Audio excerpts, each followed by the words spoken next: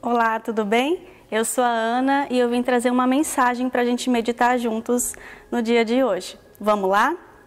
É, em 1 Coríntios, no capítulo 14, no versículo 10, se vocês quiserem abrir para me acompanhar, fala assim: Há muitos tipos de vozes no mundo, nenhuma delas, contudo, é sem sentido. Nós sabemos que existem muitas vozes no mundo, mas eu queria me atentar para essa segunda parte do versículo que diz: nenhuma delas é sem sentido. Isso nos leva a entender que cada uma dessas vozes elas tem uma intenção. E essas vozes, elas sempre existiram, elas sempre vão existir, mas nesse tempo a gente percebe é, uma enxurrada dessas vozes ao nosso redor. E elas querem nos trazer medo, engano e confusão. E elas também nos distraem. E nós ficamos tão distraídos a ponto de não perceber, né, de não ouvir a voz que mais importa para mim e para você, que é a voz do Senhor. E a voz do Senhor, que é a palavra, diz: Não temas, eu cuido de você, milagres são a minha especialidade, é, eu sou a cura, eu preservo a sua vida, eu não durmo. Deus não dorme, a palavra de Deus diz que Ele não dorme para que a gente possa dormir tranquilos, sabendo que estamos seguros, porque Ele está cuidando de nós. Eu sou o seu pai, assim diz a palavra, não perdi o controle e eu sou o mesmo, eu não mudo.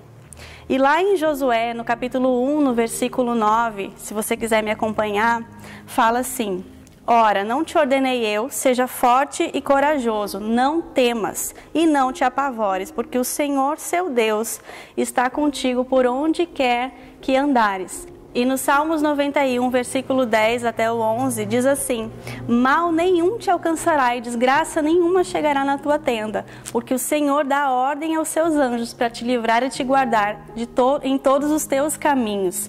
Então eu não sei você, né, mas eu prefiro ouvir essa voz, a voz que diz que eu estou segura, a voz que diz que nenhuma desgraça vai chegar na minha casa, na minha família, a voz que diz que não é para mim temer que Ele está comigo, que Ele é o meu Senhor. E lá em Mateus, no capítulo 6, no versículo 27, ele diz assim: Qual de vós, por mais que se preocupe, pode acrescentar algum tempo à sua jornada de vida? Em alguns capítulos, alguns versículos anteriores a isso, ele está falando de como Deus provê as aves do céu, de que elas têm tudo de que elas precisam e elas não plantam e não colhem né? E nós sabemos que nós valemos muito mais do que as aves do céu. Então, quantas coisas maravilhosas Deus pode fazer por nós e Ele pode fazer por nós. Que somos seus filhos, que temos uma aliança com Ele. Ele deu seu filho para morrer na cruz por nós e nos tornou filhos dele. Então, certamente, a bondade desse Pai não tem limites, né? Então, a coisa mais importante que a gente precisa fazer nesse momento é frear essas vozes, sabe? É baixar o volume delas, para que a gente possa ouvir a voz daquele que tem o controle da minha vida e da sua. Precisamos aquietar a nossa alma para poder ouvir a voz dele. E eu não sei você, mas eu já pedi tanto ter mais tempo para ler a palavra, para ouvir ministrações, ouvir canções que me edificassem, né?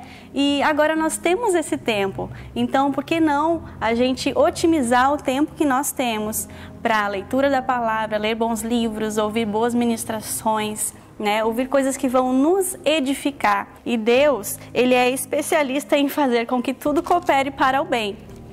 Então vamos usar esse tempo, né? Vamos ver o lado bom das coisas, vamos aprender a nos relacionar com a nossa família, né, dentro de casa e aprender a descansar. Aprender a desligar as vozes do medo, da ansiedade, da incredulidade e aproveitar esse tempo para afinar mesmo os relacionamentos dentro de casa e também com o nosso Pai. Então eu espero que você tenha sido edificado com essa palavra como eu fui e seja abençoado na prática da palavra.